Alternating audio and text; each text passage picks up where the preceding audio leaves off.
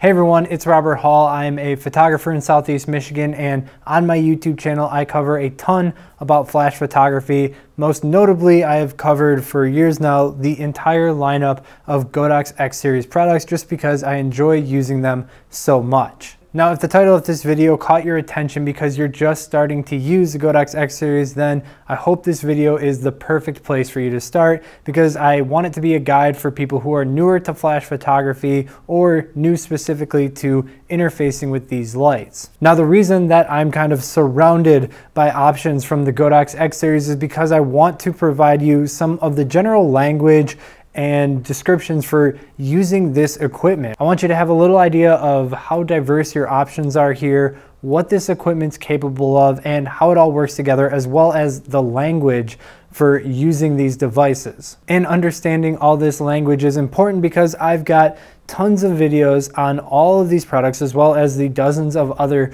Godox products that are available that you can dive into deep, but having a general understanding of what I'm talking about will really help before you dig into those. So first off, let's really briefly talk about the diversity and the names of these different classes of lights. First up in the center here, we have the center of this entire series of lighting. And that is this transmitter or trigger that is on top of my camera here. Now on my camera here is the Flashpoint R2 Pro Mark II, which is a proprietary trigger that works on the entire Godox X series, but it's only available from Adorama in the US under the Flashpoint brand. Now by far, since I've started making these videos, the most common question that I get is, does Flashpoint and Godox work together? Well, right here I have a Godox AD300 Pro, a Godox MS300, but a Flashpoint 600 Pro, and a Flashpoint Zoom R2, and a Flashpoint trigger. Yes, it all works together. And that's the first thing that I want you to know is that even though this equipment may have different names in different countries, even in the same country, it can have different names.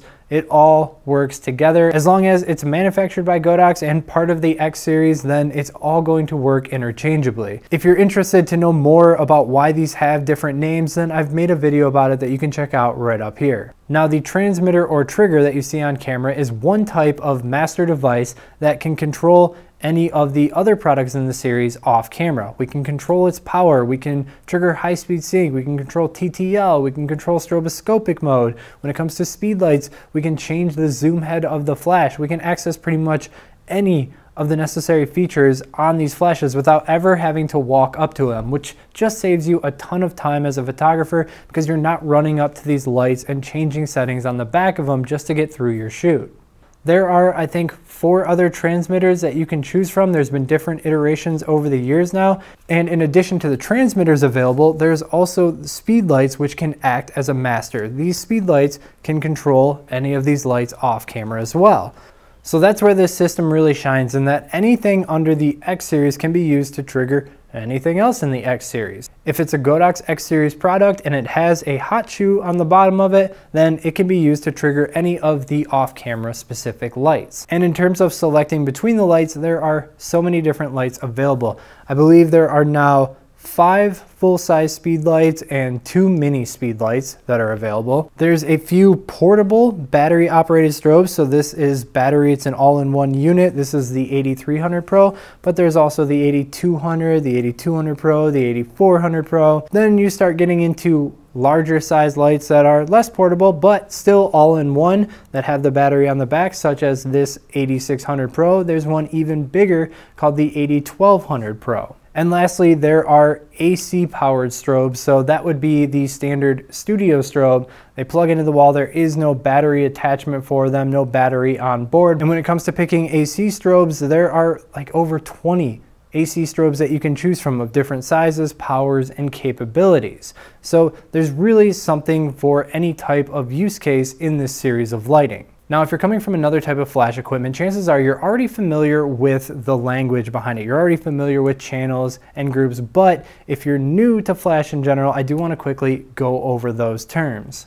So the way that these devices communicate is over 2.4 gigahertz wireless connection. That's how all of these lights know to flash when this one calls a shot. Now the products do also have optical triggering. If you've never used that before, optical triggering is basically when this flash sees another flash, it will fire as well.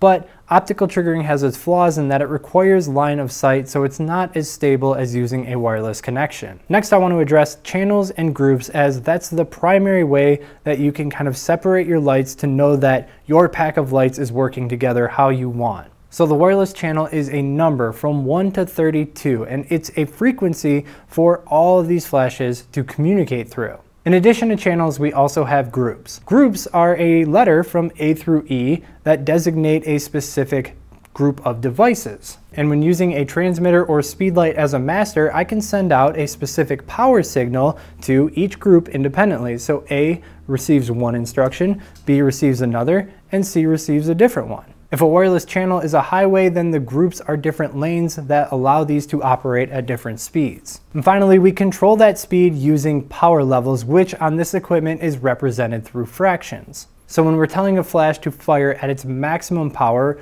we would want it to be operating at 1 over 1. If you do the math, that's 100%, 100% of its peak power. From there, these fractions drop in full stop increments with levels in between. Every time you drop a stop of light, you're dropping 50% power, and the fractions do exactly that. You start at 1 over 1, then you go to a half, a quarter, eighth, 16, 32, 64, 128, 256, and that power level is the biggest thing that separates all these different lights. For instance, this is a 300 watt light. This is roughly a 50 watt light. This is a 300 watt light. This is a 600 watt light. The power of the light is probably the first thing that you want to pick when deciding your flash. And if you're trying to figure out what power level of flash that you need, then I suggest watching this video in the top right corner. So let's revisit that. The transmitter sends out the power signal, which is basically the speed limit, to different groups of devices, which are like different lanes on a highway or channel that they all know to be on. Does that actually make sense? Now, since this is the most introductory video I've made into these products, I want this to be an index into everything else that I've made. So in the description below, you will see all the operational guides that I've made on all these different lights so you can go find your specific light. That way you know how to control every button on it every review that I've made on these products so that you can see which light I like for what type of user. And if you're looking for more general lighting knowledge, how to actually use these things and put them to work, then I've got links to a playlist where I show you how I shoot behind the scenes, as well as my intro to lighting series. That way you can learn how to take these from controlling one light in a studio to using multiple lights outdoors. All right, I hope you enjoyed this video on the Godox X series. If you did, leave it a like, subscribe if you'd like to see more of my videos on flash photography, and comment below if you have any questions. Until next time, keep on shooting.